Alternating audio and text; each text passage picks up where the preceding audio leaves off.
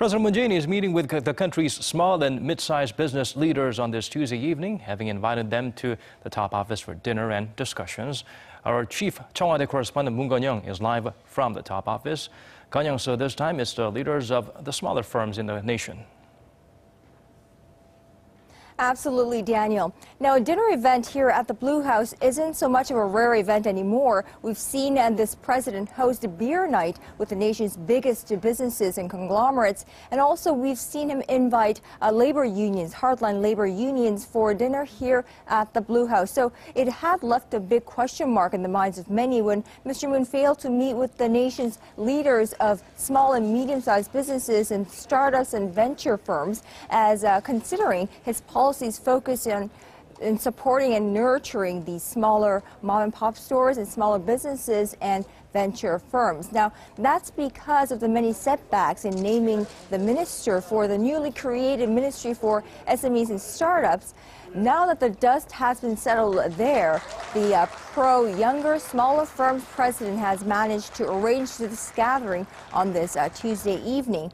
Now, the event kicked off with a huge cheering uh, ceremony for the Winter Olympics here in Pyeongchang, South Korea next month over cake, customized cake made by a local bakery in the nearby uh, neighboring Incheon city and followed by dinner. Now the menu selection is is key in in witnessing what the message, what the primary message is from the president to these businesses.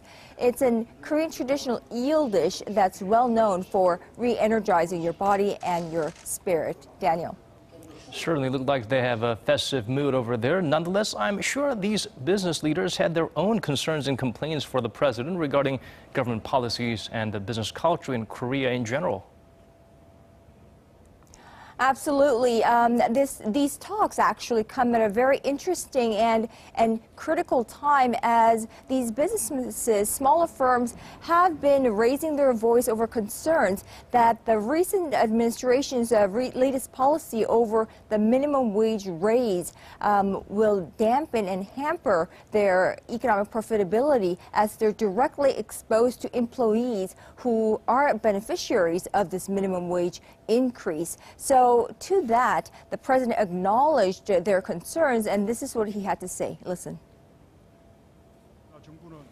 최저임금 인상분에 대한 직접 지원을 통해 최저임금 노동자의 대부분을 고용하고 있는 30인 미만 사업장의 인건비 부담이 예년보다 높아지지 않도록 전력을 다하고 있습니다. So the president did outline a couple of other measures to support and and finance and support these uh, these small and medium-sized businesses, but uh, these none of them were new. They were actually ones that have been outlined by this administration before, and we'll have to wait and see whether it has satisfied the meeting today has satisfied the the leaders of smaller firms, venture uh, startup firms, and venture firms, and we will see the results later in the night as the dinner talks are still ongoing, and I'll make sure we have more updates for you in our later newscast. Daniel?